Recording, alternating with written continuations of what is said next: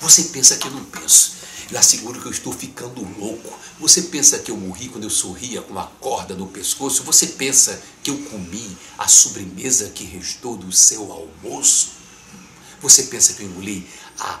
É, poxa vida, essa música, o Você Pensa é um confronto que a gente tem e que pode ser um confronto que você pode ter com a sociedade, você pode ter esse confronto numa discussão dentro de um bar e, e tal. É um confronto. Ouça para você ver, se confronte com a música.